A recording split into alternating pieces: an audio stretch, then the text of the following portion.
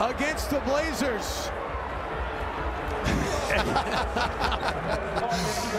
and Anthony Edwards gets great. the water bottle, bottle shower on a 40-point night. What a performance by Edwards. Jaden McDan- McDaniels got out there to contest it, did a great job of defending without fouling.